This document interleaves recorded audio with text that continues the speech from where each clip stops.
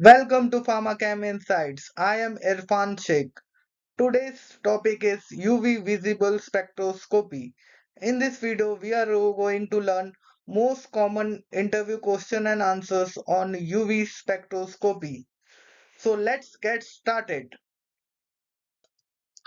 First question is What is the general chapter for UV spectroscopy as per USP?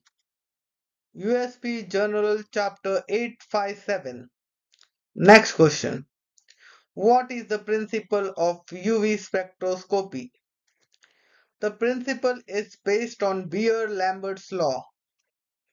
That is, when a beam of monochromatic light passes through a transparent medium, the rate of decrease in intensity of light is directly proportional to the concentration of the absorbing medium and the path length of the cell.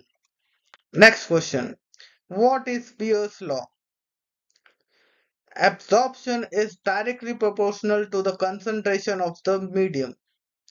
More the concentration, more will be the absorption. What is Lambert's law? Lambert's law is absorption is directly proportional to the path length of the cell. The larger the path length size, more will be the absorption. Next question. What is the limitation of Beer-Lambert's law? The limitations are Beer-Lambert's law does not obey at a higher concentration. The light should be monochromatic. The absorption of solution should not be more than 1. Next question. What are the components of UV visible spectrophotometer? There are five components of UV visible spectrophotometer. Light source, monochromator, sample holder, detector and recorder. What is the scanning range of UV? The scanning range of UV is 200 nanometer to 400 nanometer. What is visible scanning range? The visible scanning range is 400 nanometer to 800 nanometer.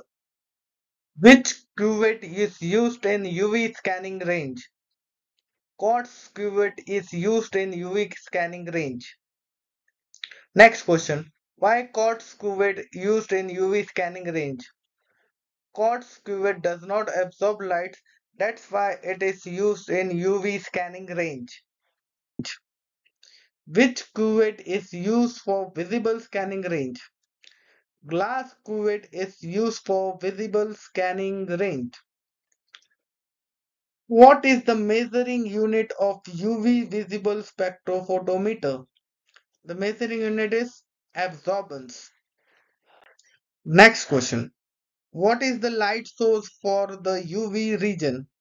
The light source for the UV region is deuterium lamp. What is the light source for the visible region? Halogen lamp is used as a light source for the visible region. What is the light source for UV visible spectrophotometer? Xenon lamp is used as a light source for UV visible spectrophotometer. What is the use of UV visible spectroscopy?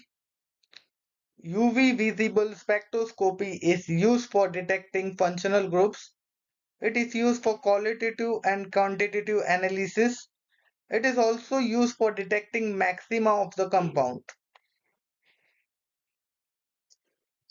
Which compound does not absorb light in UV visible spectrum?